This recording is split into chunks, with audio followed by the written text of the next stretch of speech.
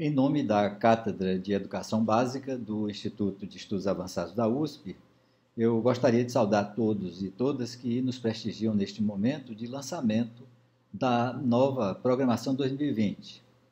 Para a abertura deste evento, temos a honra de contar com o diretor do Instituto de Estudos Avançados, o professor Guilherme Ari Plonsky, a quem passo a palavra. Muito obrigado. É, a, a crise da pandemia exige a nossa atuação pessoal e institucional em dois horizontes. No curto prazo, colocar as nossas competências, energias e recursos em ações que mitiguem os seus efeitos sobre as pessoas. No longo prazo, cuidar com ainda mais atenção da construção de uma sociedade humana saudável que permita às pessoas bem-estar físico, mental e social. O fundamento para essa construção é a educação, com destaque para a educação básica de qualidade.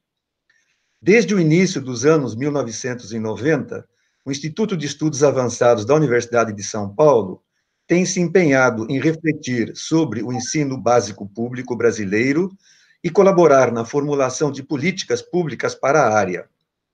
Num trecho mais recente dessa trajetória, foi criado o Grupo de Estudo Educação Básica Pública, Dificuldades Aparentes, Desafios Reais, sob a coordenação do professor Nilson Machado.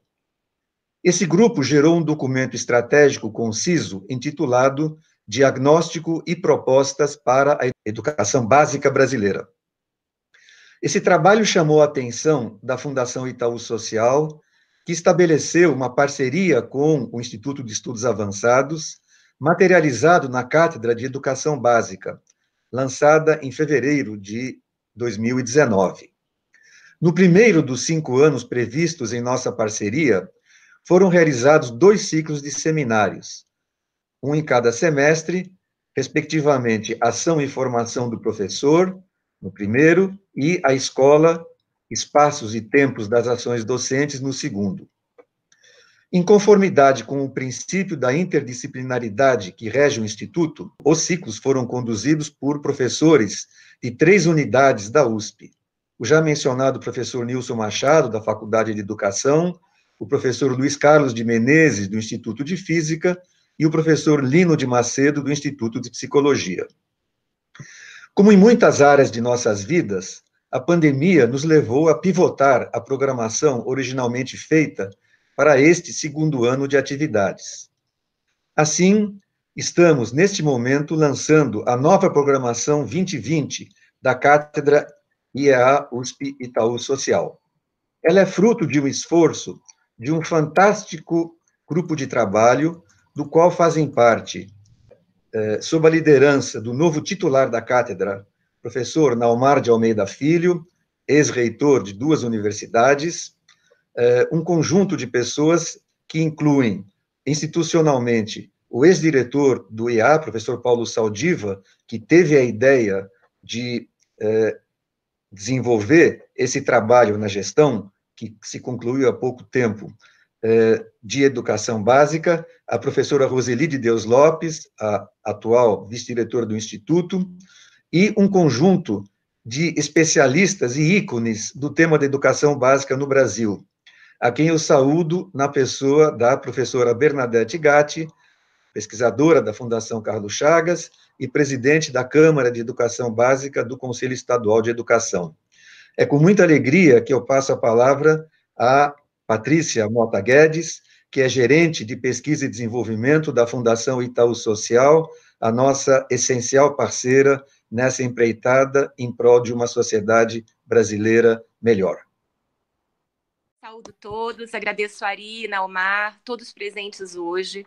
Uh, é com muita alegria que nós do Itaú Social retomamos os trabalhos da cátedra nesse ano de 2020, sem dúvida com uma série de desafios à nossa frente, mas muitos aprendizados e uma trajetória que entendemos pode ser muito, uh, muito importante para os próximos meses e próximos anos, passado essa primeira, esse primeiro momento da pandemia. Ah, como vocês sabem, acredito a maioria de todos aqui, A missão do Itaú Social é de colaborar com esforços para a melhoria da educação básica pública no Brasil. Nesse sentido, uh, e para isso nós temos dois grandes eixos, dois grandes pilares estratégicos de atuação: a, o fortalecimento das organizações da sociedade civil e a formação dos profissionais da educação básica, desde professores a gestores escolares, a técnicos de secretaria e dirigentes de educação, com foco muito grande, cada vez maior, no ensino fundamental e no trabalho com as redes municipais de educação, além do trabalho em parceria com redes estaduais que apoiam as redes municipais nos seus estados. E nesse sentido, para esse trabalho, a gente entende que a pesquisa, pesquisas, a, a esforços de desenvolvimento, de inovação, podem contribuir muito com o trabalho das redes públicas de ensino e das universidades. E é nesse é com esse papel que nós entendemos a fundação como apoio, apoio para esforços, apoio para inovação. Por isso, a Cátedra de Educação Básica entra como uma iniciativa, como uma parceria estratégica nossa.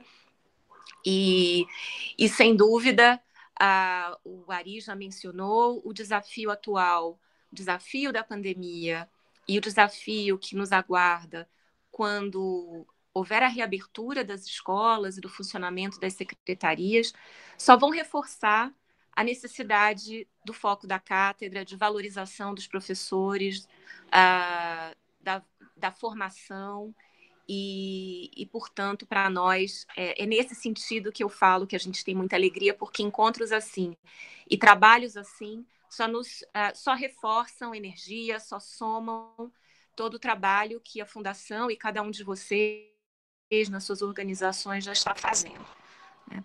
A Angela Dânima, nossa CEO, não pôde estar aqui hoje, nossa superintendente, mas também manda saudações.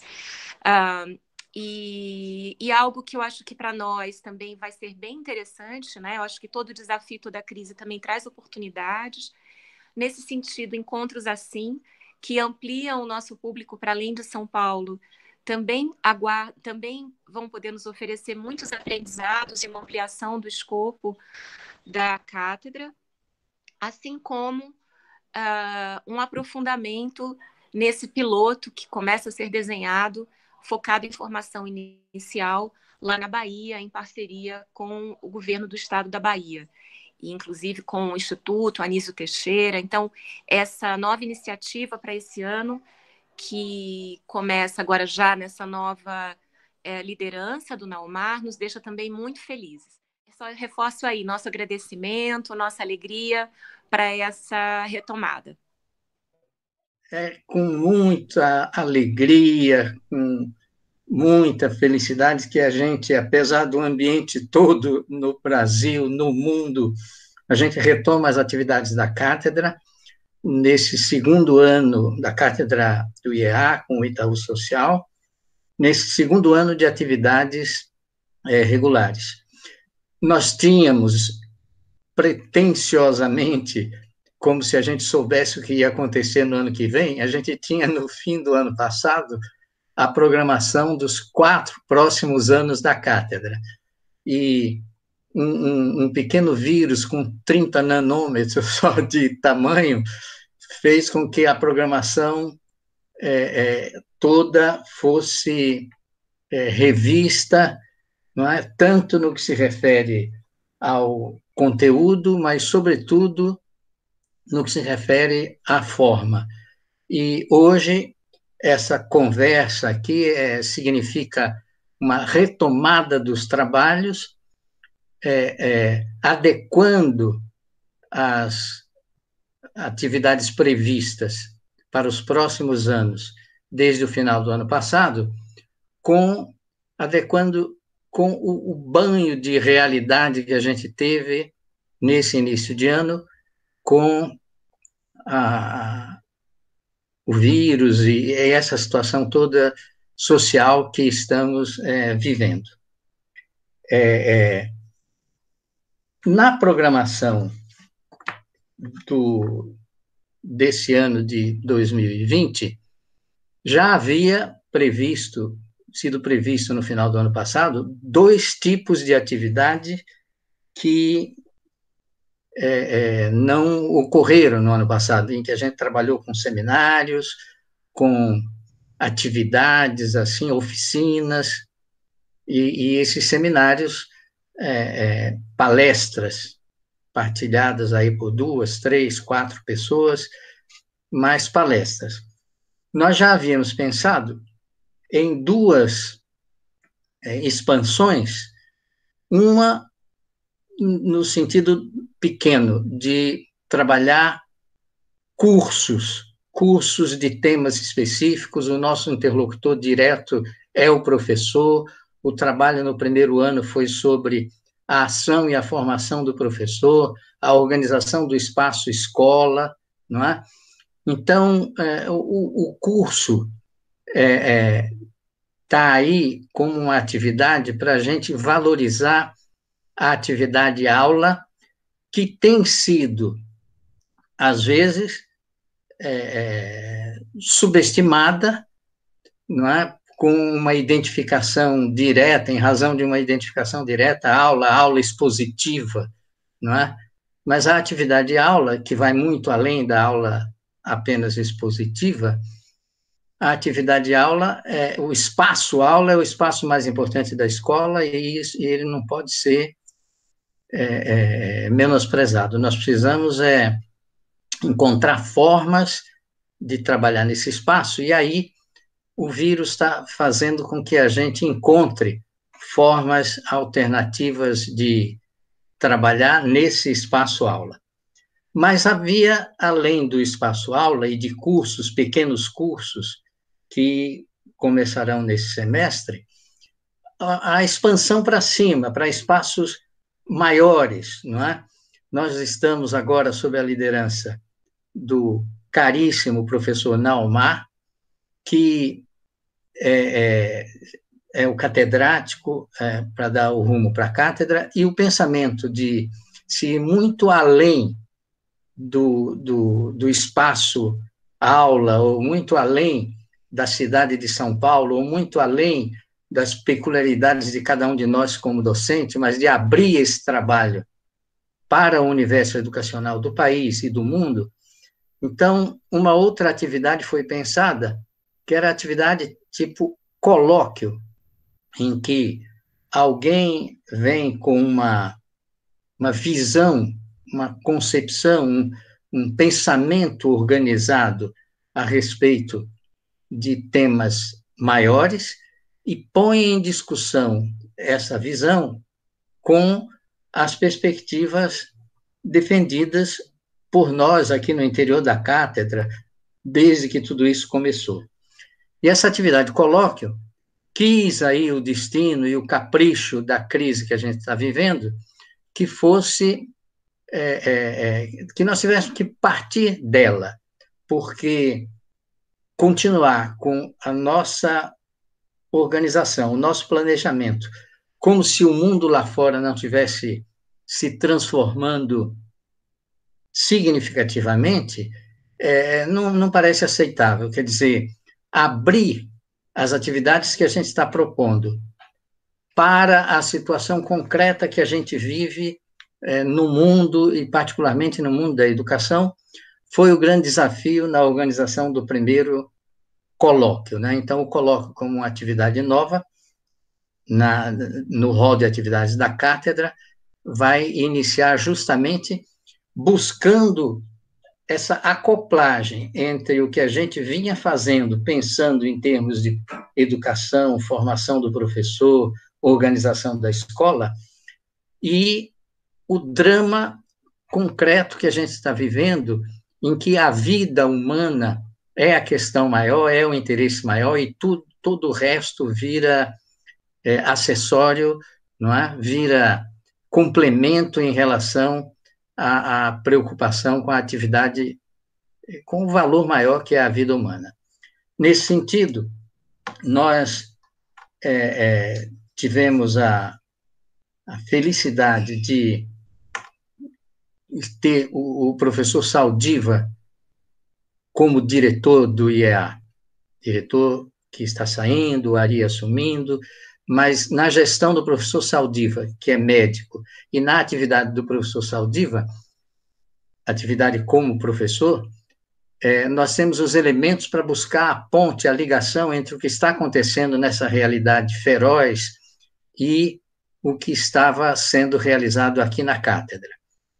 E, e o professor Naumar, circunstancialmente, aí a nossa felicidade, a sorte, também é da área médica e tem um trabalho profissional, um trabalho importante de epidemi epidemiologia. Então, juntando tudo isso, o primeiro colóquio vai ser a primeira atividade regular da cátedra nesse semestre. Aliás, a atividade da cátedra que está sendo coordenada pelo professor Menezes, dentro do nosso programa de trabalho. A cada ano alguém coordenaria. No ano passado eu coordenei, agora o Menezes. Nesse caso atual, é em sintonia com o, o a autoridade é, maior do profissional mar, que é o, o catedrático. No primeiro ano, nós funcionamos como uma cátedra sem catedrático. Agora, nós temos um catedrático para ditar o, rumo do projeto e continuamos com um, um trabalho miúdo é, no esquema de grupos de trabalho, de, de é, com, com, participação efetiva de todos os envolvidos, Cordão, Eli, Bernadette, Lino, Menezes, nós estamos aí, o próprio Naumar, que não é um catedrático de fachada, mete a mão na massa e está é, dando sangue aí na construção dessa atividade da cátedra. Mas o, o, o caso que eu me refiro dessa sorte é que o professor Saldiva, que vai liderar esse colóquio primeiro, vida, saúde, ciência e educação, ele tem uma competência técnica no, no, no, tema, mas tem mais do que isso, mais do que esse saber técnico, um sabor no tratamento desses temas, um humor, uma perspectiva que passeia entre a sociologia, a antropologia, a psicologia e a parte técnica mesmo, como médico, e ele vai é, é, fazer uma exposição nessa primeira atividade desse semestre, a atividade do, do colóquio, que será no dia 9, às 9 horas, ele será o, o, o grande apresentador dessa estrutura que servirá de ponte para o trabalho que a cátedra vinha fazendo e o que tinha programado para esse ano, se não houvesse o vírus, mas para é, manter o que é possível, mas dando atenção à realidade que está desabando aí sobre nossas cabeças. É, depois da exposição do o esquema do colóquio, é, depois da exposição do professor Saldiva, haverá comentários, comentários específicos do Menezes, é, é, fazendo a, a, transição assim dessa sociedade que a gente vive, que é a sociedade do espetáculo, para uma sociedade da incerteza, é, uma sociedade assim onde se fala muito de ciência, mas a, a, a ciência, é, é a própria ciência é um monte, um rol de incerteza, então, o Menezes vai fazer essa transição nesse, nessa interface entre sociedade e cultura. O, o, o Naumar vai trazer um, um, uma informação sintética, mas de peso, sobre essa ciência da epidemia, não é? é a epidemiologia, que ele é, é do ramo e vai tratar, particularmente aí aparecerá espaço para a gente discutir a, a, a, ciência de que tanto se fala, como é que ela está sendo interpretada e pensada em termos é, do que está sendo feito com a pandemia, não é? O que a gente vê e ouve diariamente é, é um rol de números e, e a pressuposição é de que os números não mentem, mas a, a, a realidade é que muitos mentirosos usam números né, para justificar suas posições, e, de fato, a, a ciência é, é, tem sido maltratada, e sobre isso nós vamos conversar um pouco também, completando e é, articulando com a, a, fala maior do professor Saldiva, é, em que a, a vida e a biologia vão aparecer num sentido amplo, num sentido muito maior do que aquele é, que era criticado ferozmente pelo Ortega, Ortega y Gasset. Ortega tinha uma bronca com a palavra biologia, porque ele dizia o que se chama de biologia, na verdade, é zoologia humana, mas o bios, que é a vida na Grécia, mas a vida com a palavra, com o outro, né, com a linguagem, com a, a palavra juntamente com o outro e não a vida em sentido é, de, de manutenção do corpo apenas, mas é a vida social. Então, o, o, isso daí tá, há um mal entendido que a gente vai tentar conversar, associando a fala do, do Saldiva, e quando se ouve tanto falar de deitar a curva, a curva ainda não deitou, é, isso daí fica parecendo para um leigo que é, é a curva que está mandando na realidade. E a curva, na verdade, é um modelo, e a realidade é, é, é que é, é, o que vale realmente. A, a, realidade é que dita o que tem que ser feito com, com para tirar proveito da curva de fato, o, o modelo tem uma dupla acepção, ele é descritivo e se pretende prescritivo. E é aí que mora o perigo, quando se pega um modelo é, com uma série de problemas, de falhas quantitativas, de falhas assim por desconhecimento, e se passa para o prescritivo, que é delicado para qualquer ciência, né? Para a ciência em qualquer fase. A ciência é ótima para descrever. Para prescrever, ela precisa se associar à ética, aos valores, e esse espaço é um espaço que merece algum comentário. Certamente será contemplado pelo Saldiva. O Lino e o Eli vão comentar também a respeito da grande fala do Saldiva é, uma sociologia, psicologia, antropologia dessa distância desse isolamento é, social. A Bernadette vai, tudo nesse primeiro colóquio, né? É, vai pensar que trazer a saúde para a escola é, não pode ser apenas no sentido do Ortega, no sentido da zoologia humana, né? ou do funcionamento do corpo, e nem apenas trazer pensando-se na linguagem técnica, de nomenclaturas e tudo, nós precisamos das ideias fundamentais da biologia é, na escola.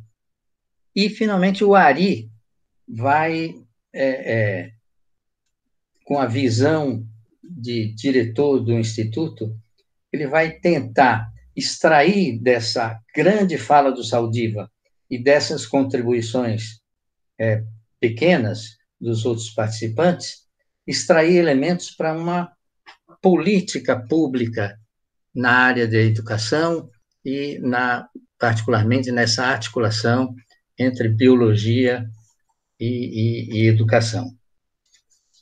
Esse, então, será o, o, primeiro colóquio. As outras atividades é, são programadas, eh, foram programadas anteriormente ao colóquio, e sobre elas o, o Menezes vai discorrer, vai conversar, é, discorrer, discorrer assim sucintamente, mas vai observar, elas foram é, mantidas. A grande novidade, então, para esse semestre é a existência desses colóquios, esse será apenas o primeiro dos colóquios, esse que nós descrevemos, né, o colóquio 1, e os cursos, que estamos assim apresentando eu um curso, o Lino outro curso, o Hélio, mas são exemplos. Nós esperamos que venha dos colegas professores de diferentes âmbitos propostas de cursos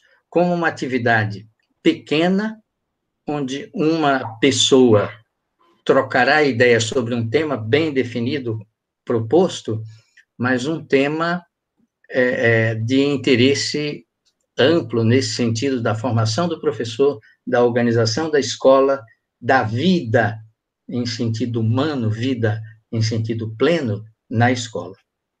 Então, é, é, é, é isso, eu não vou me alongar nas outras atividades, todas elas estão disponibilizadas né, num site, inclusive as atividades referentes ao que foi feito no ano passado, né, no site do, do, do IEA correspondente, e eu passo imediatamente a palavra ao é, Menezes, né? que é o, o nosso atual coordenador para esse ano de trabalho de 2020 e que vai dar uma ideia mais ampla do que serão as demais atividades realizadas quinzenalmente a partir desse pontapé inicial, que é o primeiro colóquio no dia 9.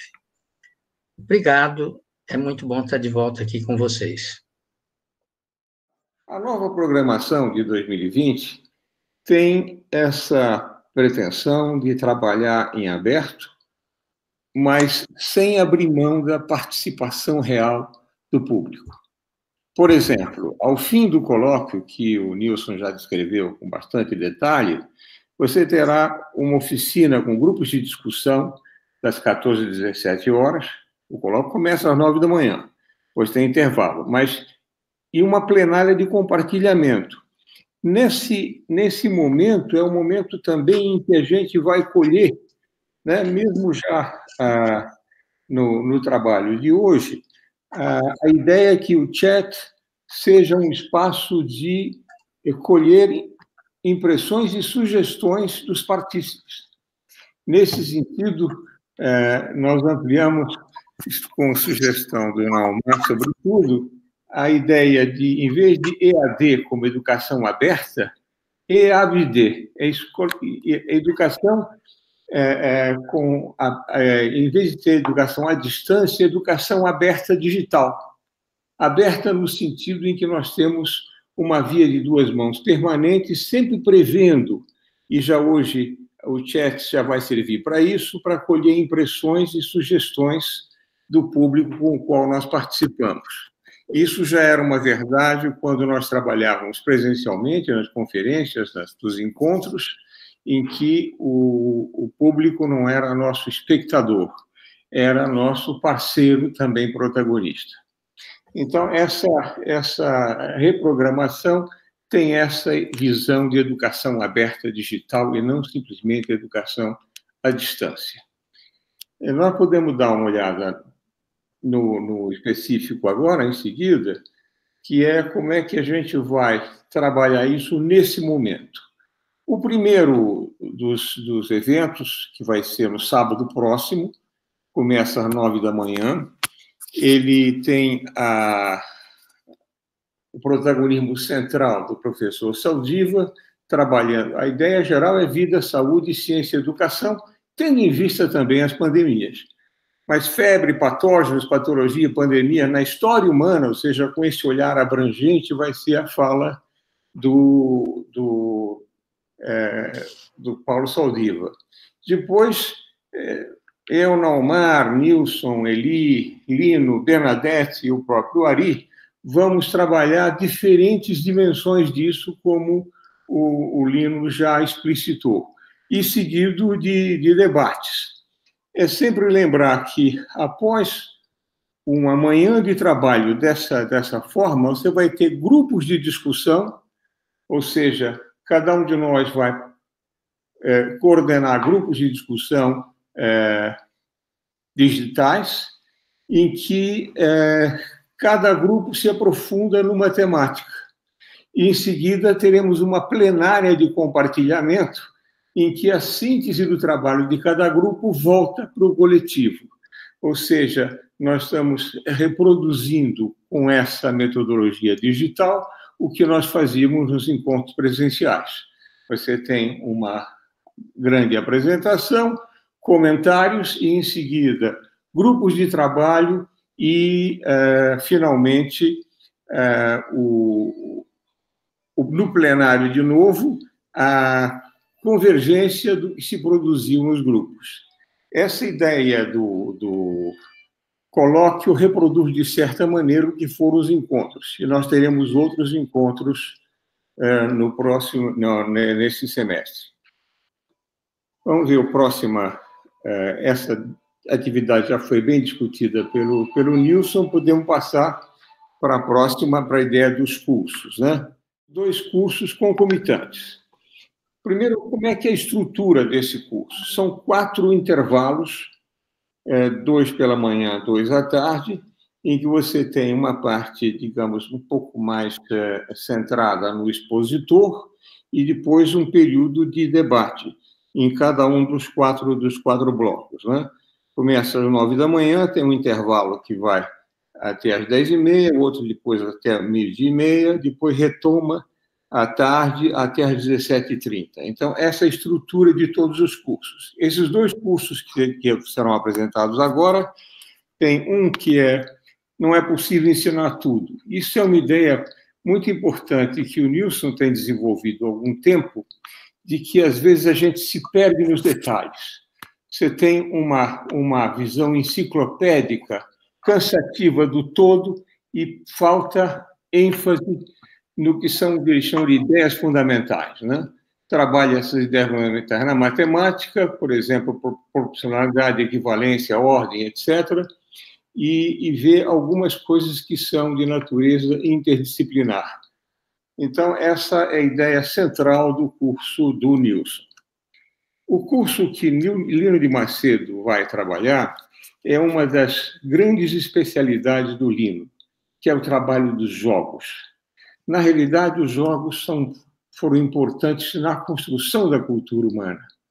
E, e alguns deles, é, desportivos e outros, etc., também têm uma presença enorme. Mas ele vai trabalhar os jogos de raciocínio, como Sudoku, Kenken, etc e mostrar como é que isso pode ter um papel importante na construção do, do, da passagem do raciocínio do nível concreto operatório para o nível formal, até o hipotético dedutivo, ou seja, vai trabalhar o, o, a ideia dos jogos com grande profundidade como instrumento de, de aprendizagem. Né? Então, esse é o, é o, é o segundo conjunto, que é em 23 de maio. Então, você vê, Dia 9, que é o sábado próximo, teremos o colóquio. Depois, no dia 23 de maio, esse conjunto de cursos. Dia 6 de junho, nós teremos o primeiro encontro. Ele é um pouquinho diferente do colóquio, porque ele terá, digamos, eh, um conjunto de, de, de palestras e, e, depois a, a discussão. É, grupos de discussão e, de novo, plenária de, de compartilhamento. Por isso, semelhante ao colóquio. Nesse, nesse é, 6 de junho, o valor do conhecimento do Nilson, ele conversa um pouco com a ideia da centralidade, só que é, aparece o conhecimento como valor, é certo? A ideia do, do, do conhecimento como valor está tá centrado e ele não vai trabalhar só em matemática, vai olhar no sentido um pouco mais amplo. Aí você tem o curso do Naumar, que é essa articulação entre ciência, conhecimento, informação e tecnologia. De certa maneira, é o que nós estamos vivendo nesse momento. A possibilidade de cada um, a partir da sua casa, estar compartilhando ideias, discutindo, etc., estar usando uma tecnologia para partilhar conhecimento e informação. E uh, essa, isso, de certa maneira, tem tudo a ver com Naumar, que ao um só tempo é um, é um médico especialista em, em epidemiologia, mas é um grande educador e tem um bom domínio é, da, das, das, tecnologias de informação, até porque ele nos lidera com uma força muito grande nesse sentido. a minha, o meu curso seria do pensar social ou cosmológico, é tentar já começar a juntar ciências humanas e ciências da natureza, olhando de uma perspectiva diacrônica como é que o, o bicho gente é, é, se, se é, surge e como é que ele se desenvolve historicamente. Essa ideia da articulação é, ciência-natureza vai ser retomada mais tarde, mas nesse curso vai estar centrado nessa continuidade entre o pensar social e o cosmológico. Você tem aspectos sociológicos, aspectos antropológicos e você tem aspectos cosmológicos, quer dizer, que antecede a vida e a razão. Conhecimento e sabedoria, que é o curso do, do Lino de Macedo, é, trabalha uma coisa que tem sido muito interessante nos nossos diálogos. Né? Nós temos um, um grupo de, de longo convívio. Né? Então, a ideia de que saber, sabedoria e conhecimento fazem parte de um todo. É, eu me lembro de uma expressão que, de uma, de uma frase do, do Nilson, que diz assim: ó, dado não é informação, informação não é conhecimento e conhecimento não é sabedoria. Há uma visão contínua e integrada da construção da sabedoria e o psicólogo da educação Lino de Macedo não tem ninguém melhor para falar disso do que ele. Né? Todo curso, como nesse caso, tem debates e tem grupos de discussão à tarde, voltamos para a plenária de compartilhamento. Ou seja, nossos partícipes vão trazer a sua contribuição, o seu olhar nos grupos de discussão e alguém fará uma síntese para compartilhar o que cada um dos grupos trabalhou após uh, uh, o, o é, o encontro, no fecho do encontro. Então, essas quatro falas, do Nilson, do Naumar, minha e do Lino, é, de certa maneira, pautam possivelmente quatro grandes grupos de discussão. E a síntese desses grupos de discussão vem para o compartilhamento, ou seja, a produção dos nossos partícipes à distância. Então, esse é o encontro do dia primeiro, vocês veem, eles têm um pouco da estrutura do colóquio, mas com uma diferença. Você tem quatro grandes falas e não simplesmente uma delas comentada. No dia 20 de junho, tem o segundo bloco de cursos. Esse bloco terá é, quatro. É, é, são quatro cursos concomitantes. Então, o participante vai escolher um dos cursos dos quais ele participa. Mas eu acho que vale a pena mencionar aqui. Você diz, bom, eu fiz um curso, não fiz o outro. Será que eu perdi? Toda a produção, seja pregressa, seja daqui para frente, do, do que essa, essa cátedra está produzindo, será continuamente disponível através do site da, do, do, da cátedra da UIA ou do canal da cátedra no YouTube. Então, é, não é verdade que você perca alguma coisa. Você participa imediatamente de um curso e pode acessar os resultados de uma forma total ou sintética através do canal no YouTube ou do site da cátedra. Eu estou apontando isso porque eu gostaria de participar dos quatro cursos, tá certo? E às vezes você diz, ah, será que, que será que eu perdi? Aliás, você pode voltar né? Será que alguma coisa que aconteceu no mês passado eu posso recuperá-la? Ou até no ano passado? Sim. A ideia de nós termos uma, um, um acervo é, vivo do que foi produzido, eu acho que é um dos méritos desse, desse, é, dessa proposta da cátedra. Então, os quatro cursos concomitantes são Direitos e Aprendizagem na Educação Infantil, do Lino, Vale a pena lembrar, nesse caso, que a Base Nacional Comum Curricular tem duas, duas é, ênfases importantes nessa etapa da educação, que são os direitos da criança e os campos de experiência. E os direitos de conviver, de brincar, de se expressar, vão, vão crescendo do bebê para a criança muito pequena, para a criança pequena. E essa eu diria, essa é a praia do Lino, tá certo? Ele trabalha com isso há muitos anos, tem grande. O, o, o Nilson vai trabalhar um curso das competições, das concepções às ações docentes. A ideia é, em primeiro, começar, essa é uma tônica do Nilson, evitar desvios, né? É, trabalhar, fugir do utilitarismo e das tecnicidades e trabalhar no essencial de um, com um sentido prático. Trabalha a língua, a lógica, a argumentação, etc. Então, isso é um curso, digamos, profundamente conceitual e instrumental para a prática educativa.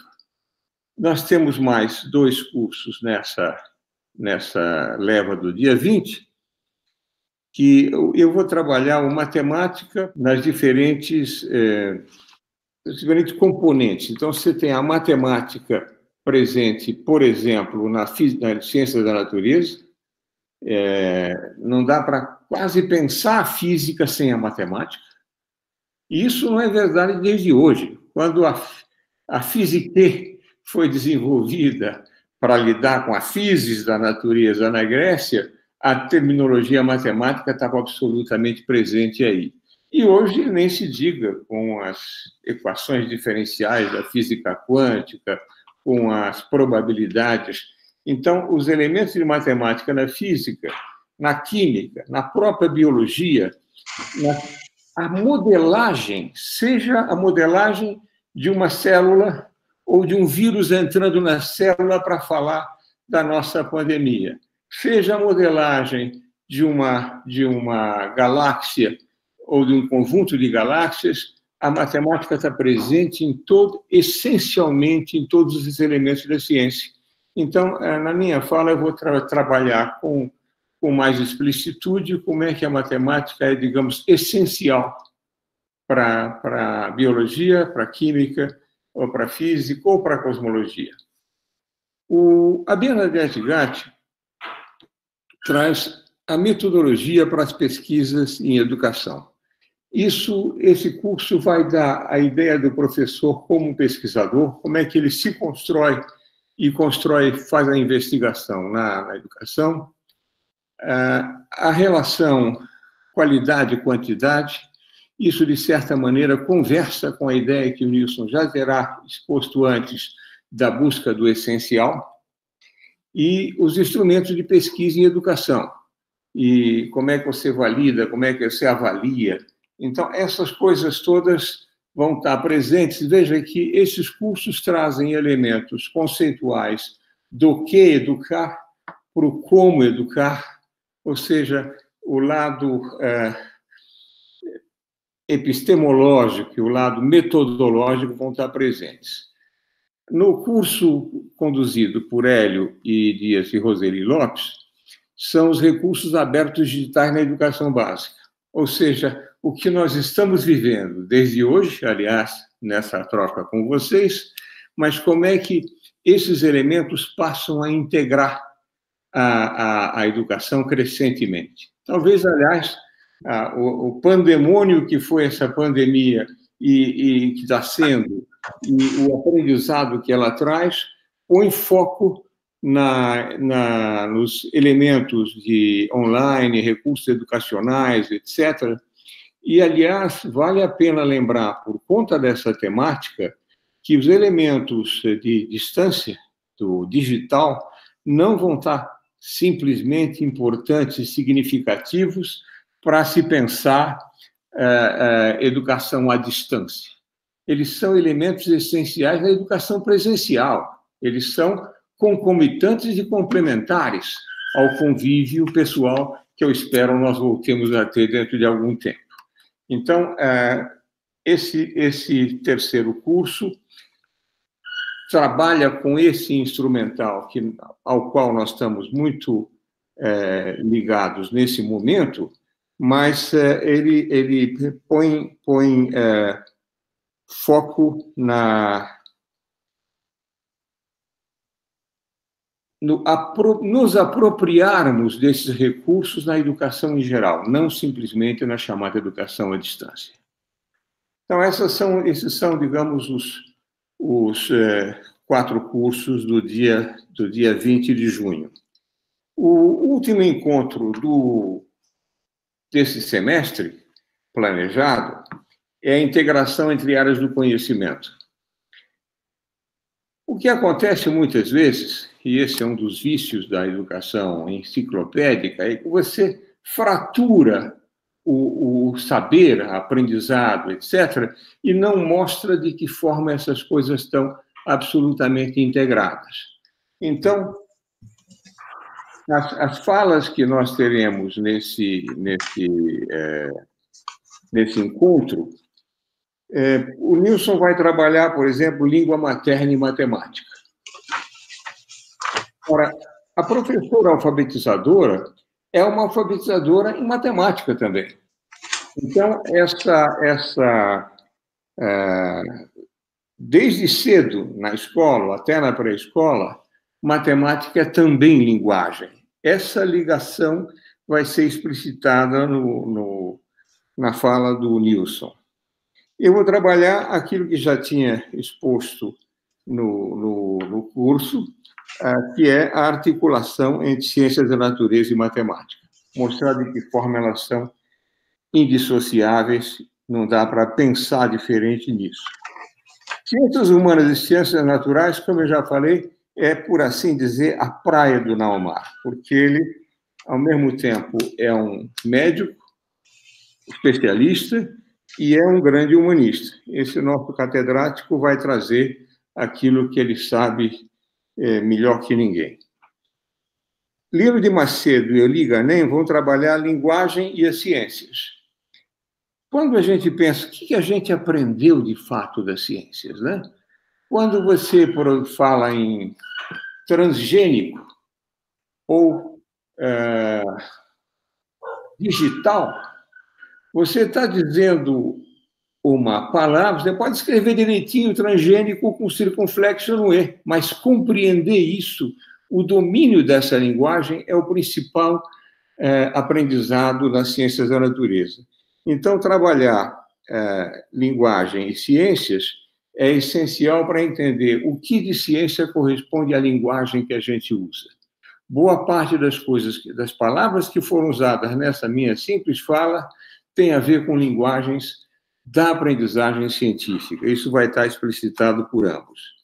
E, finalmente, terá um trabalho, do, uma apresentação do Francisco Cordão, Francisco Aparecido Cordão, meu velho amigo, que são itinerários formativos na qualificação para o trabalho. Essa palavra itinerários não é qualquer coisa, é a palavra utilizada na educação média para uma das vertentes, uma das saídas na completação do ensino médio, que é o que prepara para o trabalho, chama itinerário técnico formativo. O Francisco Cordão trabalha há décadas com isso. Eu tenho aprendido muito com ele e todos nós vamos aprender nesse, nesse curso. É, não é coisa simples, porque nós temos tido ou escolas técnicas, em que você está já centrado numa profissão, ou educação básica, que é quase um pré-universitário. A ideia dos itinerários formativos produz uma outra, um outro formato para a escola, escola média regular, que depois de um tempo o aluno se qualifica para projetar a sua vida e nisso escolher um itinerário formativo que pode estar ligado à saúde, nós estamos vendo a quantidade, a importância dos profissionais de saúde e, e a sua enorme dedicação nesse momento trágico da pandemia, pode estar ligada às comunicações, propaganda, marketing, jornalismo, é, ou para uma atividade técnica de tipo é, concepção de imóveis, design, etc. Essa eu estou só ilustrando os itinerários formativos têm que estar articulados com a formação geral dada pela base comum curricular. E essa articulação será trabalhada certamente na fase do, na fala do professor Gordão. Finalmente, vejamos, todos esses, esses encontros são seguidos de debates, terão grupos de discussão, um formato de fórum ou outro, em que, à distância, mas também próximos, de uma forma aberta, os conjuntos dos partícipes vão trocar ideias, trazer seus pontos de vista e a síntese disso será compartilhada no, na visão do plenário, do plenário digital, que é o que, o que nos é, é, permite nesse, nessa circunstância. É, em suma, essa é a programação que nós é, é, concebemos para esse semestre. É, entendamos, a cátedra continua funcionando, continua trabalhando. Então, as sugestões que vocês trarão, aliás, desde hoje, né? Porque já pelo chat vocês podem nos trazer sugestões. Podem nos pautar também como programar o próximo semestre. Então, a, a, a ideia de uma educação aberta digital e não simplesmente à distância, ela não é unidirecional. Desse pequeno conjunto de intelectuais e professores para o conjunto dos professores, mas também vice-versa.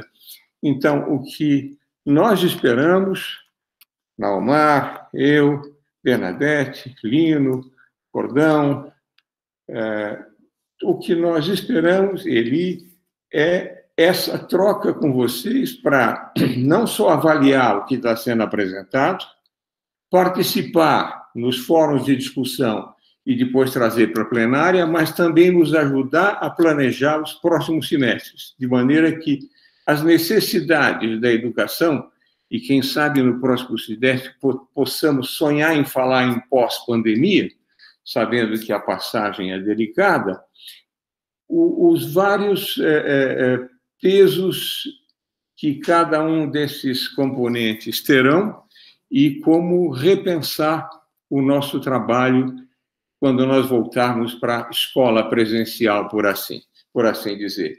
Eu, eu fui, é, é, tentei ser o mais é, detalhado possível, talvez tenha me estendido, mas eu gostaria muito de ouvir o nosso catedrático Naumar sobre essas essa programação e esses comentários.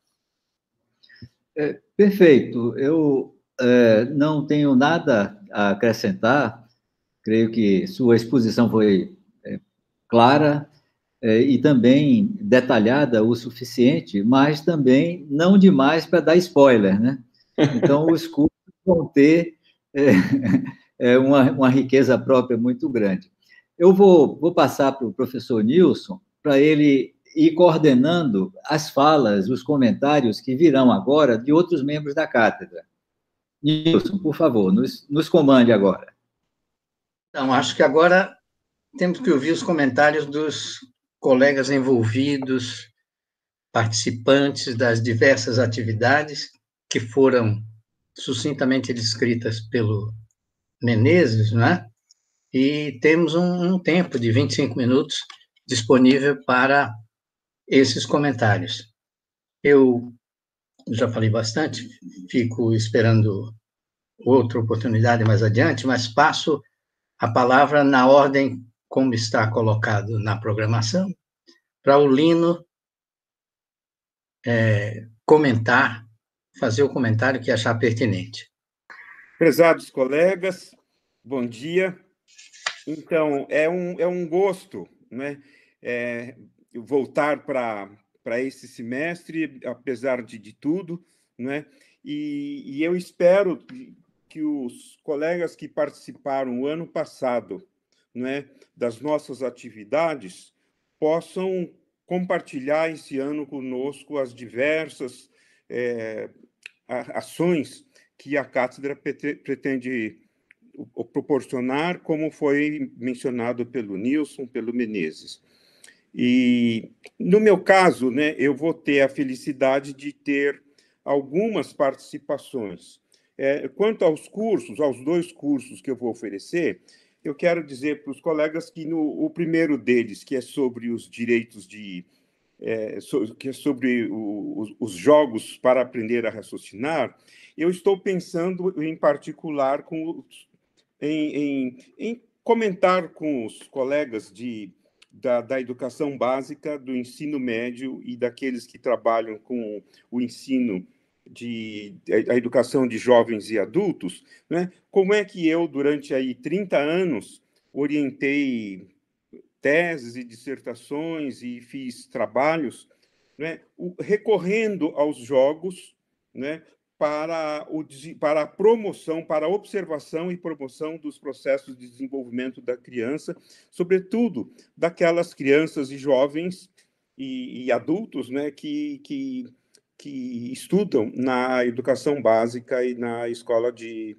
no, do EJA. Né? Então, esse é o primeiro curso. O segundo, é, que é sobre os direitos de aprendizagem na educação infantil, eu vou, eu vou é, recorrer ao que tem sido objeto de estudo meu nos últimos anos, que é como pensar né, a minha disciplina, Psicologia do Desenvolvimento, né, na perspectiva da, da, da,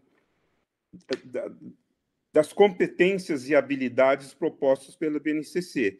Então, no caso do, do curso sobre educação infantil, nós vamos é, é, trabalhar, raciocinar e desenvolver e, e, e, comentar sobre o que são direitos de aprendizagem, né? E, e, na perspectiva da BNCC. No que diz respeito às, às outras participações minhas, eu, eu, eu vou também recorrer à BNCC. No caso da exposição sobre conhecimento e sabedoria, eu vou vou propor uma análise da, da, da definição geral de competências proposta pela BNCC e pensá-la, né, refletir sobre ela na perspectiva da, do conhecimento e da sabedoria, tentando diferenciar e, ao mesmo tempo, integrar esses dois aspectos. No que diz respeito à, à outra participação minha, eu vou, eu vou, né, e, e antes disso, e, e, a minha vontade né, é para aqueles colegas que quiserem participar do turno da tarde, da gente é, estender essa análise para as dez competências gerais, é, ou seja, onde como pensar, como proporcionar aos alunos e aos professores da educação básica né, a, o que tem de conhecimento e sabedoria nas dez competências gerais da BNCC. Né? E, e, e, por último, é, junto com meu querido é, colega, o professor Eli, nós vamos é, com, é, compartilhar um pensamento sobre essa problemática da relação entre linguagem e ciências. E no meu caso em particular, eu, eu, o meu propósito né, é pensar essa, essas duas grandes categorias é, é, que são a base, na verdade, da, da educação básica, e, e para dizer o mínimo, né, na perspectiva do sujeito que conhece, né, do sujeito que, que tem que desenvolver linguagens e, e conhecimentos e integrá-los no, no vocabulário, vamos dizer assim, na forma de pensar é, proposta pelas disciplinas ou áreas de conhecimento que compõem a educação básica. Então, eu, o meu desejo, né, a minha esperança e, e a minha convicção é que teremos um semestre muito rico, apesar de tudo que está acontecendo é, neste momento. Então, um abraço, esperamos vocês. Obrigado, Lino. Vamos passar então a Bernadette, a amiga querida Bernadette, para ela fazer o comentário que achar pertinente sobre o que foi apresentado até agora. Bom, muito feliz que a cátedra está andando, né? E ela não deixou de andar em nenhum momento, embora não tenha aberto ao seu público para uma conversa ampliada. Nós estamos chegando, né, agora, mas o trabalho foi continuado, uh, especialmente considerando todas as contribuições que foram dadas eh, nas atividades que foram desenvolvidas em 2019, né? E isso dá um sentido por onde nós estamos caminhando, né? É, e esse sentido, ele, ele tem a ver com as questões ligadas à, à educação básica, ao seu papel e, portanto, àqueles que fazem a educação básica, ou seja, os educadores, né? Professores, especialistas, gestores, eh, técnicos e todos os que contribuem para a formação das crianças e jovens no, nas escolas, especialmente nas escolas públicas, que acolhe quase 90% né, das nossa, das nossas novas gerações. Então, nós estamos uh, fundamentando todo esse trabalho na ideia de que, que emergiu né, dos nossos encontros, da importância dos professores terem um conhecimento cultural ampliado, né, que lhe permita se mover no campo dos conhecimentos, né, é, que lhe permita uh, conversar com os seus alunos em contextos, considerando os problemas que estão associados ao conhecimento uh, científico, artístico, histórico, social que ele tem que trabalhar. Quer dizer, não basta que ele tenha o domínio dos conhecimentos, né? A área dos conhecimentos ela é muito árida, ela é cheia de conceitos, de linguagens. Nós temos que pensar, nós temos que pensar os conhecimentos como dando um, senti um sentido, um sentido de valor, de valor para a vida, de valor para a uh, manutenção da vida desse planeta, né? Uh, da vida social, biológica, psicológica, no sentido da preservação de uma vida, mas de uma preservação de uma vida é, de um exercida e vivida, vivenciada de uma maneira qualificada a melhor, né? É, que possamos então é, trabalhar, sobretudo, tendo esta filosofia, né, que nos guia, ou seja, nosso trabalho como educadores tem que ter um sentido. E o sentido que está sendo dado aqui eh, na cátedra e que está pervasando as grandes discussões é, e, e, e, se tornando cada vez mais alentada nesse momento da pandemia, né, é que nós, seres humanos, né, temos que conviver com a natureza, conviver com a, tudo que está no nosso ambiente sócio, biopsicológico, relacional, e que isso tudo tem a ver com educação, né, com as relações formativas que nós fazemos com as novas gerações. Esse é o sentido profundo da cátedra é, que nós estamos desdobrando, né, em todos nesses, nos colóquios, nos encontros e nos cursos, né.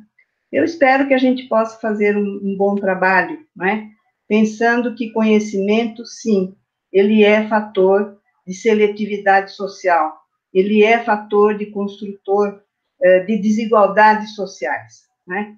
mas não é um conhecimento puro, é um conhecimento que tem valor é, para todo o pensamento humano, e esse pensamento humano, quando está é, solidamente fundamentado, né, não num senso comum, né, mas no bom senso que a boa pesquisa pode trazer, né, e isto vai fundamentar também o meu trabalho no curso com metodologias da pesquisa e o sentido delas para a educação. Espero que a gente possa fazer um bom trabalho, ter um bom diálogo, trocar muitas ideias eh, e que possamos eh, estar sempre compartilhando e recebendo contribuições de todos. Obrigado, Bernadette.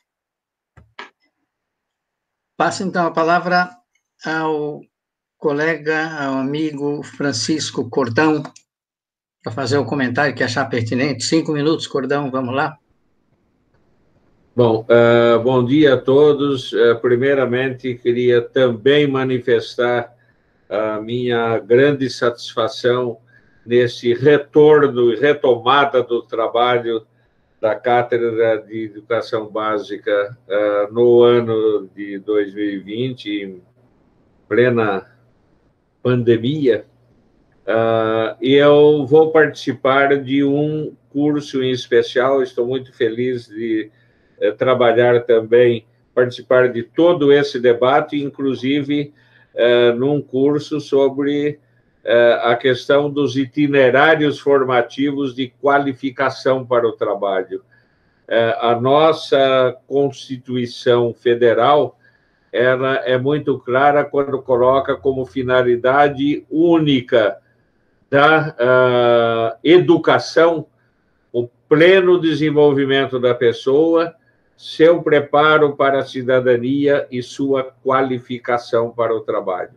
É nessa perspectiva uh, que nós uh, discutiremos sobre a finalidade última da educação, em especial da educação básica, que é a de integrar conhecimentos, habilidades, atitudes, valores, emoções, uh, na, nessa preparação para a cidadania e qualificação para o trabalho.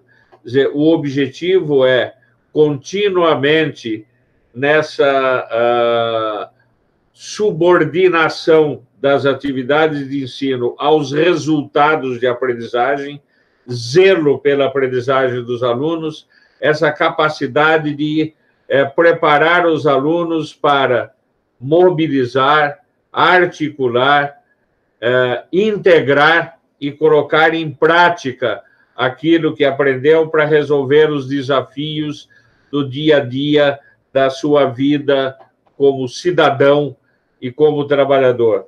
Daí a importância de trabalhar a, o desenvolvimento dos itinerários formativos uh, de a partir da qualificação profissional, do técnico de nível médio, das contínuas uh, especializações para dar conta desse recado eh, e dar conta desse preceito eh, constitucional que anima a nossa educação, em especial a educação básica. Acho que esse é um bom tema para debate pela Cátedra de Educação Básica. Estou muito feliz de participar desse debate. E bom trabalho a todos nós e a todos os educadores brasileiros. Obrigado, Cordão. Eu passo imediatamente a palavra ao Eli. É, bom dia para todo mundo. Uma satisfação estar entre os colegas da universidade e especialmente entre colegas docentes, professoras, professores de educação básica. É, eu devo participar dessa programação em dois momentos. No primeiro colóquio, tratando de, do tema da saúde como valor e como direito, e é, em conjunto com o professor Lino, posteriormente, sobre linguagem e é, ciências. É, aquilo que já foi dito me parece o essencial.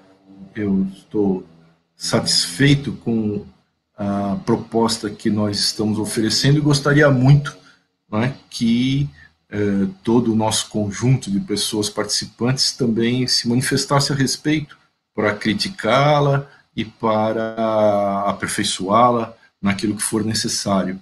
E gostaria muito mesmo de estar com vocês todos presencialmente.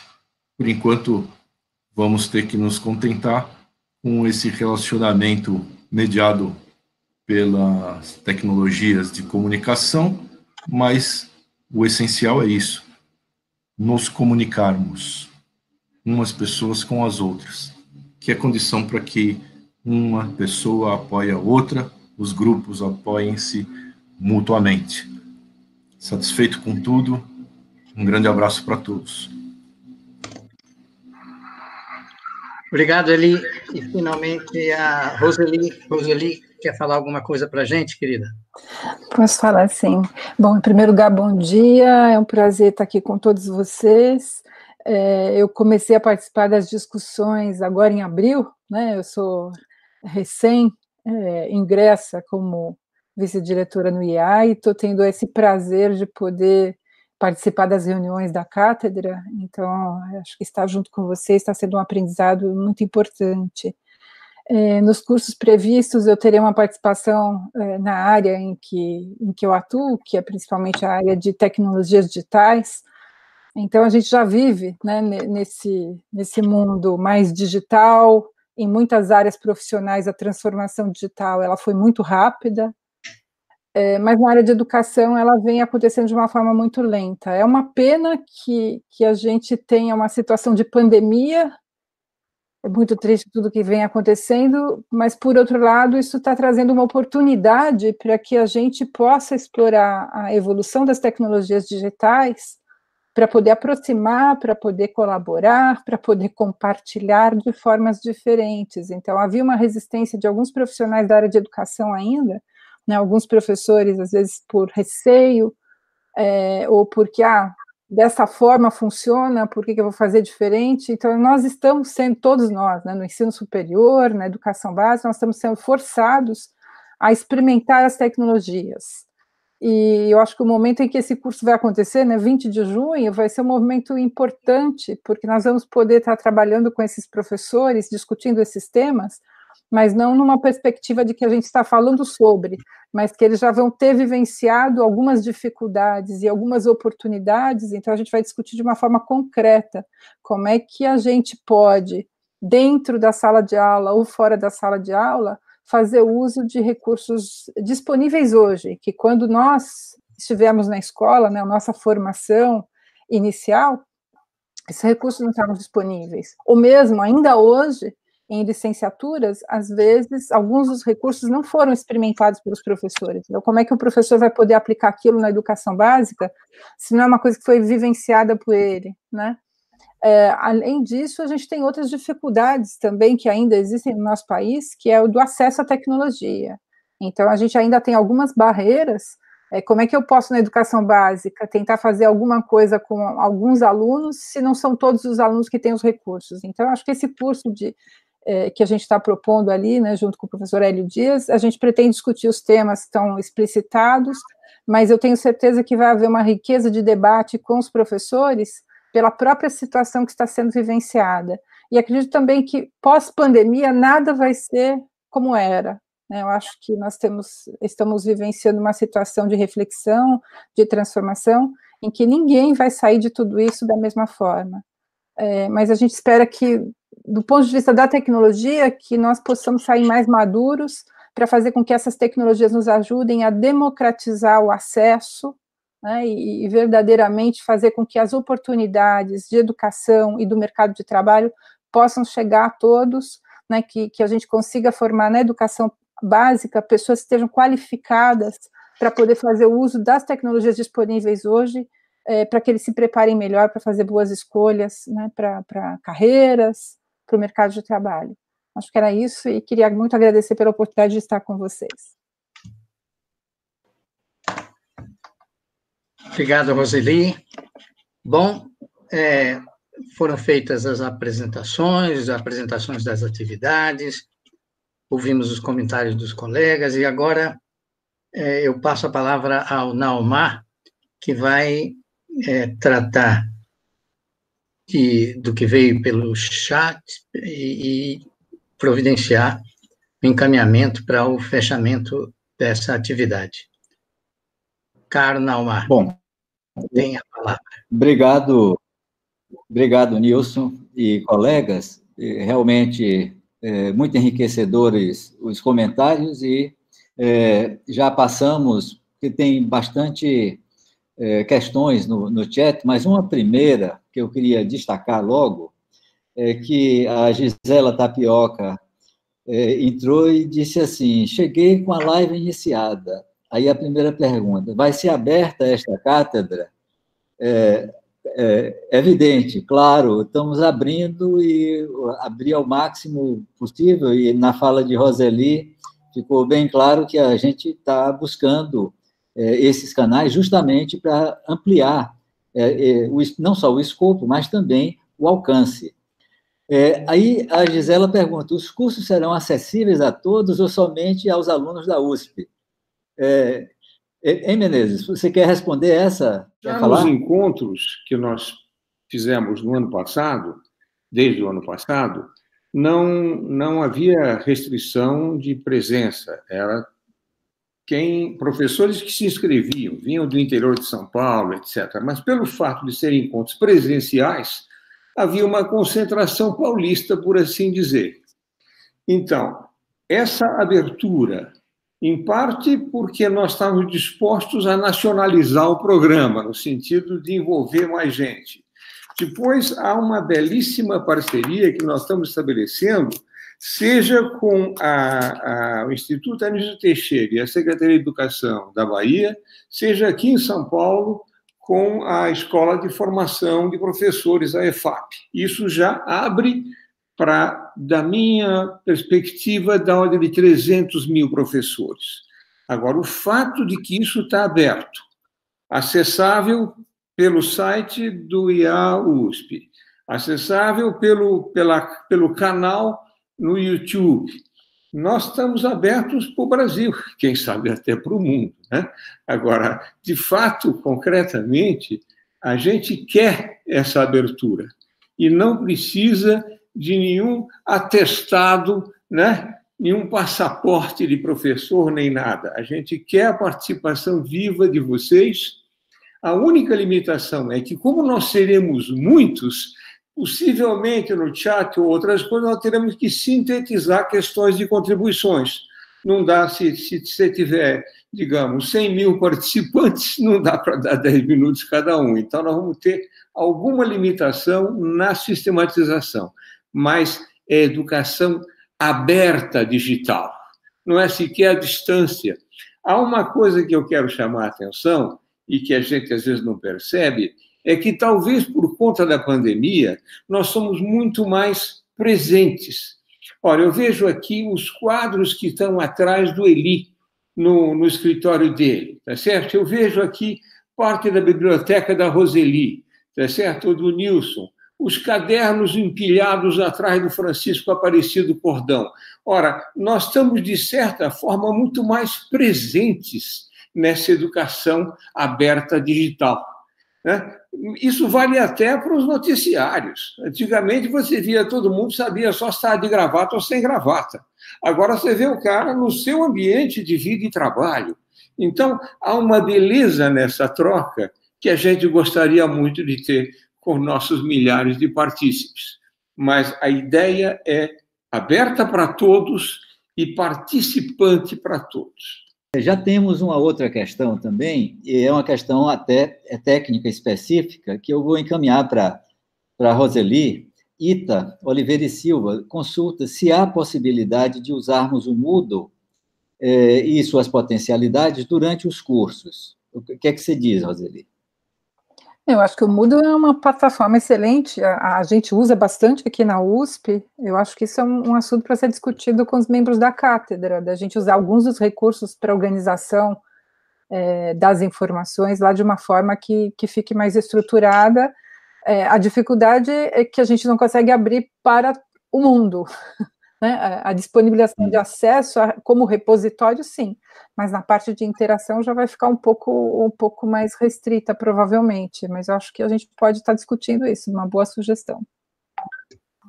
De inclusão, Roseli, naquele, naquela microementa que foi apresentada, é, em algum momento entre os, as possibilidades é, de incorporar o Muda, porque o Muda tem sido muito usado, né?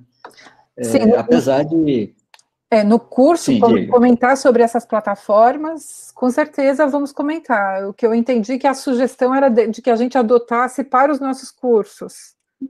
Então, acho que para adotar para os nossos cursos, para a organização dos materiais, acho que essa é uma coisa que tem que ser discutida no âmbito da cátedra, mas para a gente comentar sobre esse tipo de plataforma, de MOOCs, né, de, de, de ambientes massivos, isso com certeza está é, tá dentro do, do escopo do que foi colocado ali. Tá bom.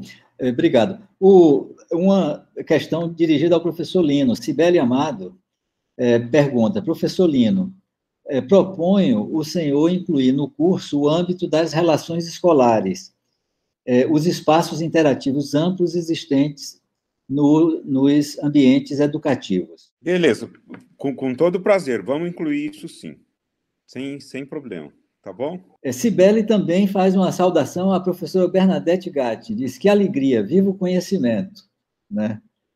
É, e Eleusa Diana, que alegria rever a professora Bernadette, sempre presente. Bernadette, você tem um fã-clube já é, é, consagrado, né? E pessoal participando aqui, né? Você queria é, é, se manifestar em alguma, em alguma medida? Pode Não, falar. Sempre, sempre muita alegria, né, de estar com os professores e ter as contribuições deles, deles mexerem com a cabeça da gente, né, muito bom isso. E acho que vamos caminhar juntos sempre compartilhando. Bom, é, Daniel Puig, é, ele faz o seguinte comentário: a programação está realmente muito próxima a questões tão importantes na escola, na formação e trabalho do, dos professores. Serão oportunidades incríveis de aprendizagem. Parabéns à cátedra. Olha, a programação é, é, é um, são escolhas, não é?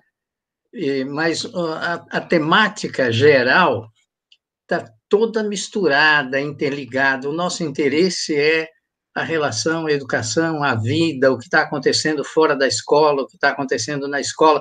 Só que não falando genericamente, mas falando dos temas e dos conteúdos escolares, é?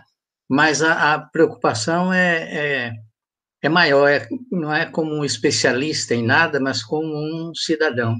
Nesse sentido, essa, esse tipo de participação do chat é, é fundamental para fazer a gente pôr os pés no chão, voar, mas voltar a pôr os pés no chão, não é?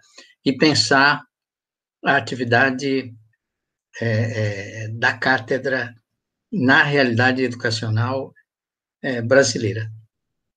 Não, tem mais saudações à professora Bernadette, que ela tem viajado pelo Brasil, e aí as pessoas ficam é, é sempre é, é, é, relacionadas a Marina Cesana, né, professora Bernadette, sempre preocupada com a melhoria da educação. Bom, tem uma, uma observação é, que eu vou, vou pedir a, a, ao professor Eli para comentar, Edneide Vitor.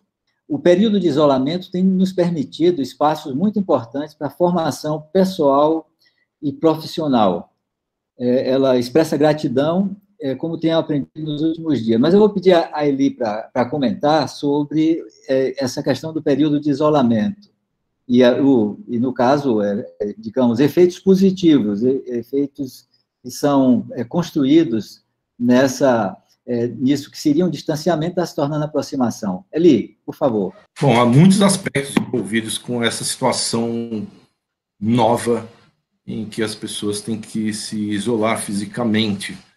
E o desafio especial é de que o isolamento seja apenas físico, é? justamente que é, nós possamos transformar a desvantagem em uma vantagem, não é?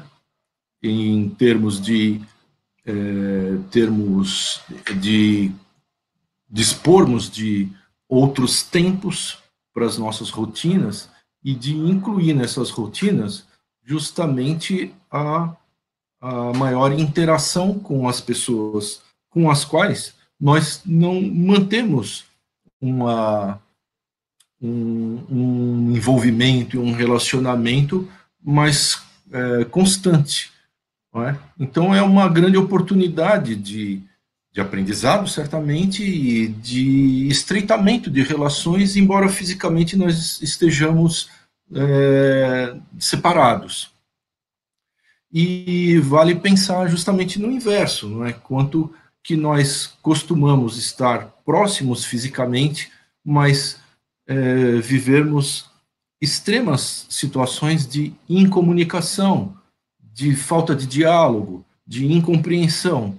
Então, essa essa situação em que nós somos obrigados a viver também nos provoca a rever a forma como nós, ou as formas como nós temos nos relacionado, né? entre indivíduos e entre grupos.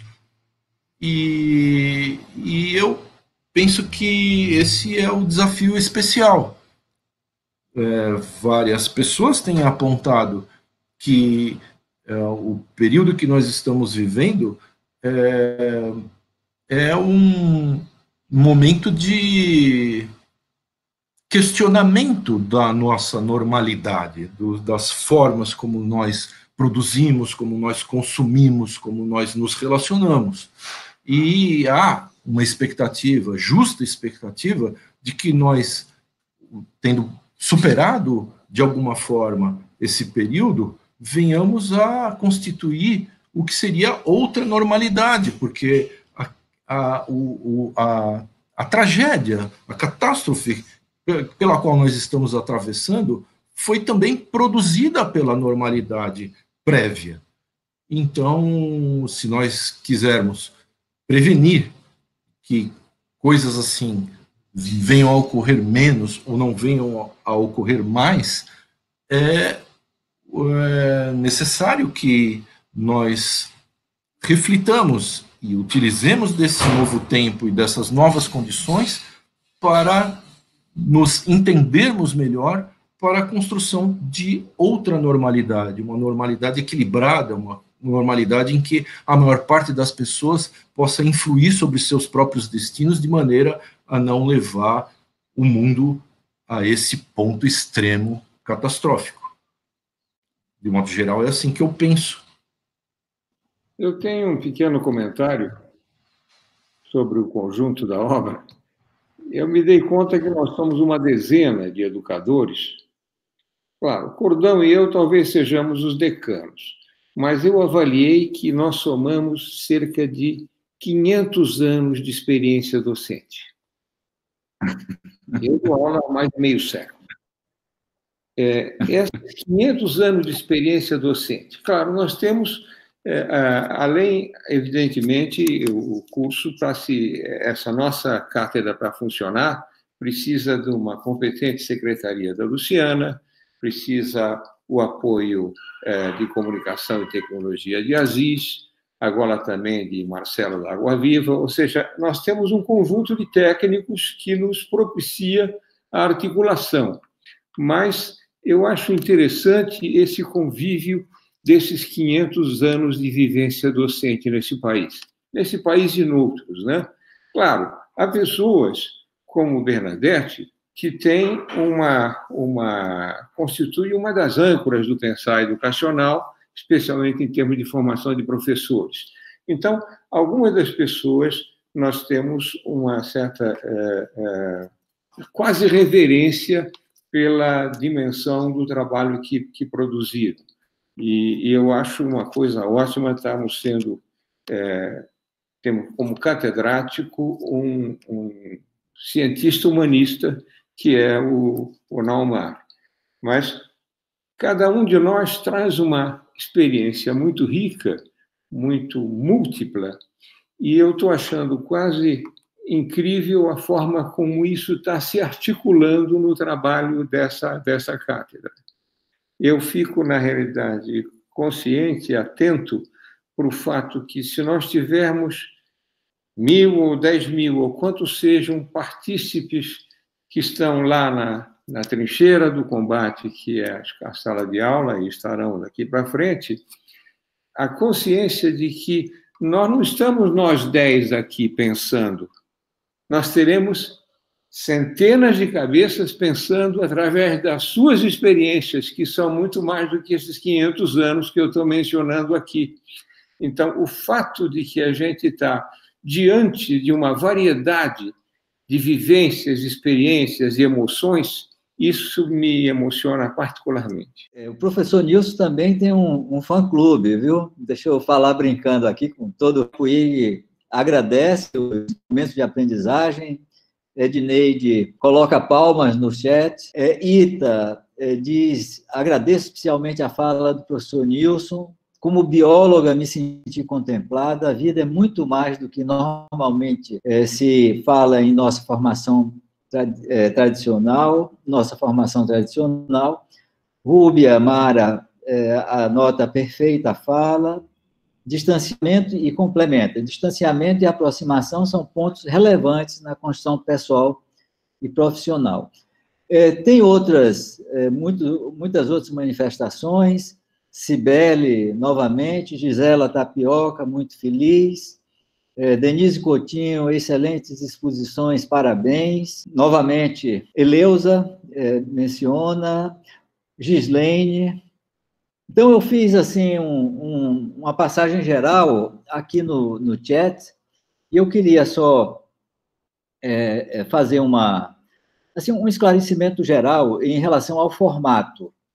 É, nós estamos testando, e hoje é um, o início, até a própria, o próprio lançamento é um teste, é um formato que vai ter é, dois níveis de participação.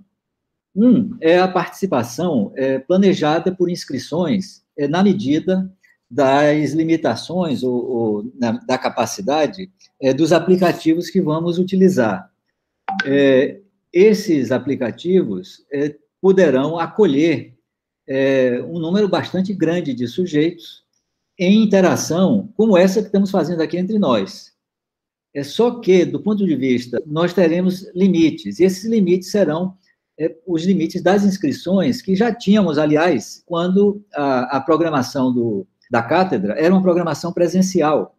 Mas, nesse caso, o presencial, do ponto de vista físico, trazia uma limitação geográfica, como Menezes bem, bem assinalou, quer dizer, apenas as pessoas estavam próximas é, do campus da USP, ou a, o máximo de extensão era aquele interior próximo de São Paulo. Com esse formato, nós poderemos ter é, um alcance nacional é, desse nível de participação direta. Agora, além disso, todas as atividades serão, é, em tempo real, emitidas em formato live. É como esta que está aqui, nós testamos com esse é, grupo de colaboradores que eu já quero agradecer, tanto o pessoal é, do, do, do IAT, é, da Bahia, o, o, grupo de, da EFAP, através da, da, da professora Silene. E aí testamos esse, esse modelo. E eu gostaria de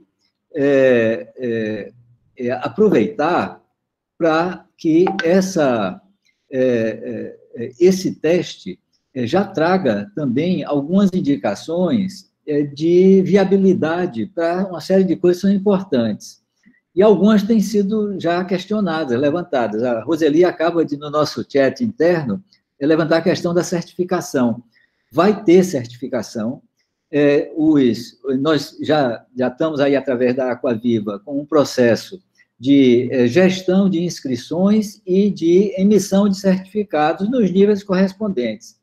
Evidentemente que eh, nós eh, poderemos ter distintos níveis de certificação pela participação.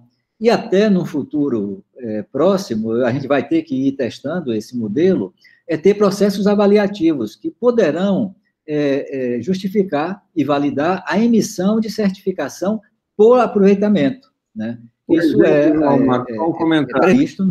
Estamos... A inscrição, a inscrição prévia é uma condição, a participação nos fóruns, nos grupos de discussão, tá certo? Então, há uma série de, de é, percepção de vivências, tá certo? Sem precisar prova escrita no final, tá certo?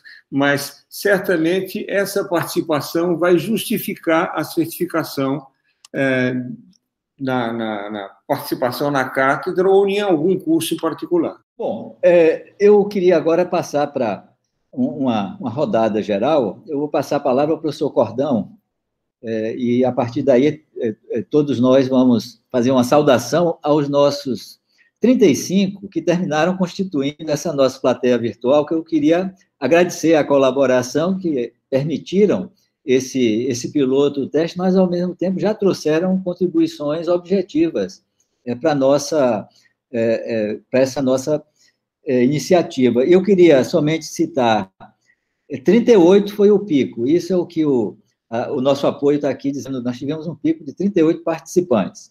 É, e citar, é, mais três pessoas fizeram observações, é, Danúzia, é, bom, Danúzia faz uma observação que é, é, era bom termos esse grupo no MEC. Vocês querem ir para o MEC?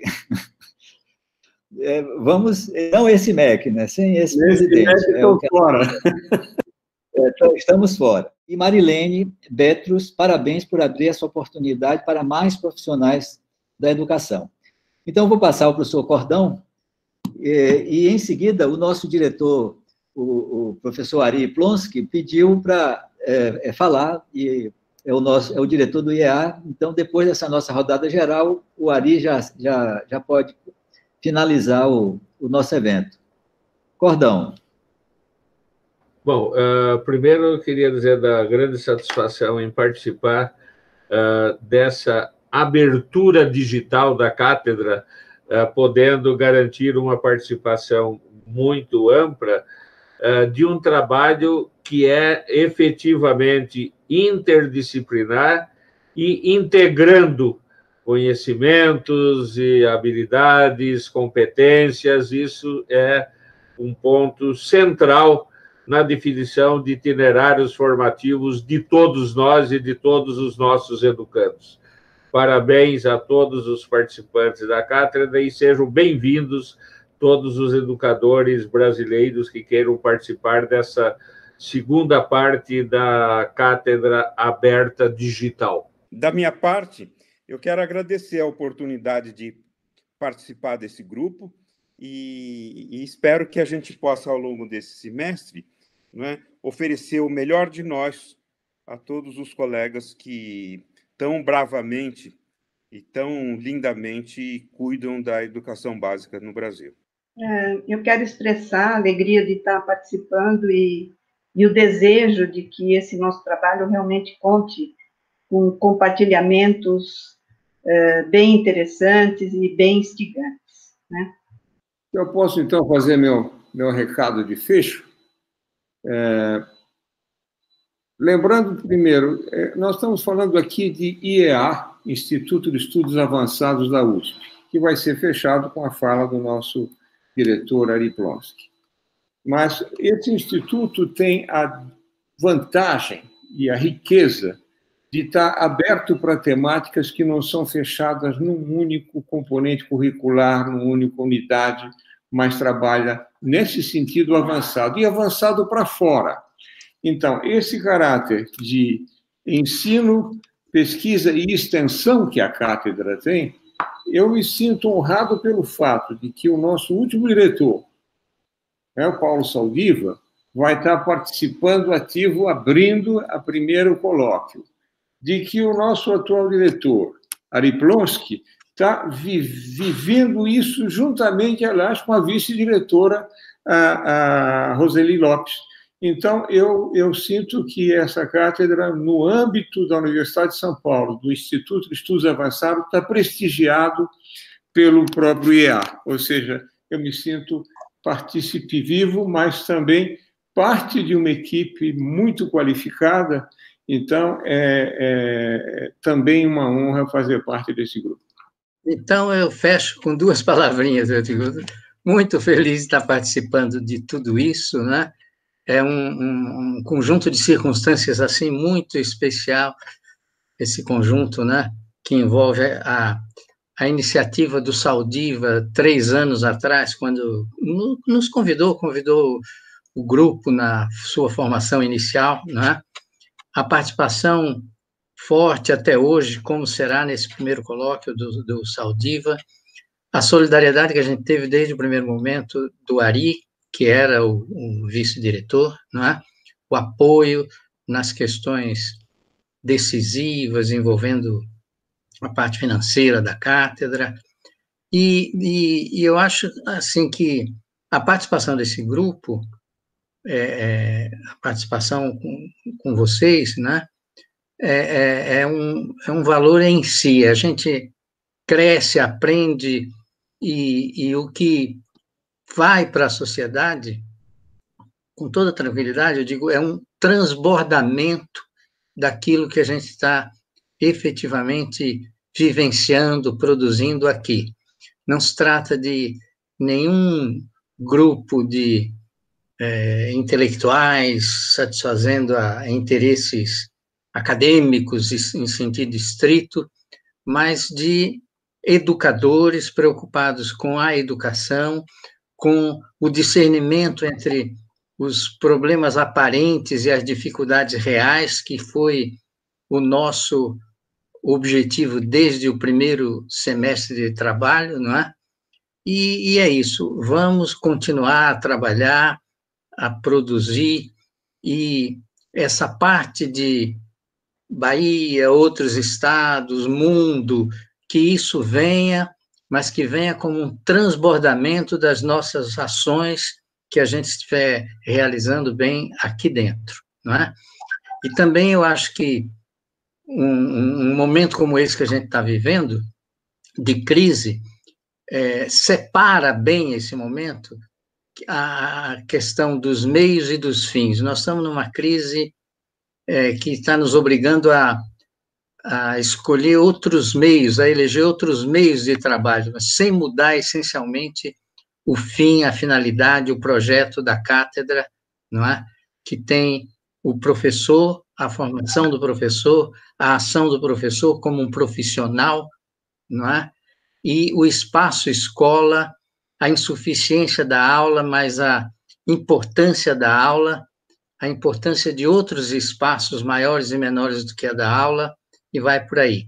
Essas questões de finalidade, eu acho que nenhuma crise está nos fazendo desviar delas. Nós estamos elegendo meios para conseguir buscar os fins que a gente almeja.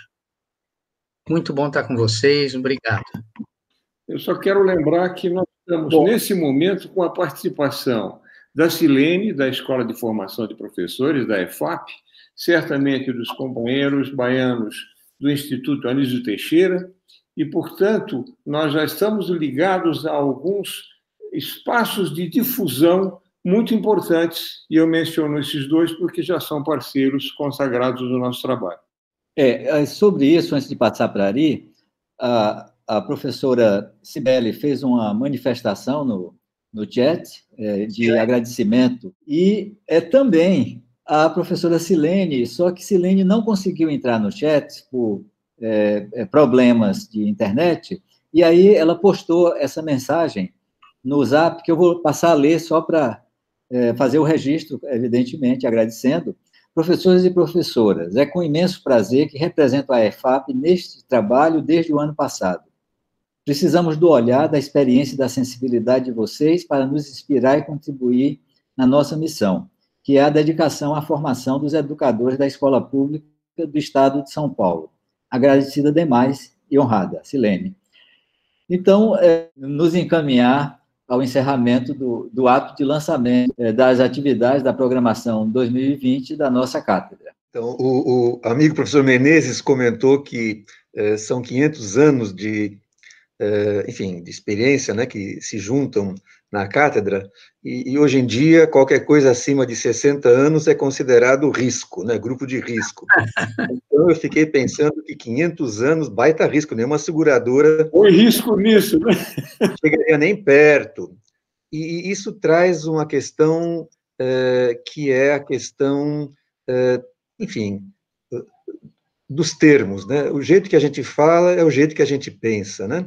A gente fala em distanciamento social, que, na minha opinião, é, em termos de nome, é inadequado. É um distanciamento físico é, que requer outras formas de aproximação social.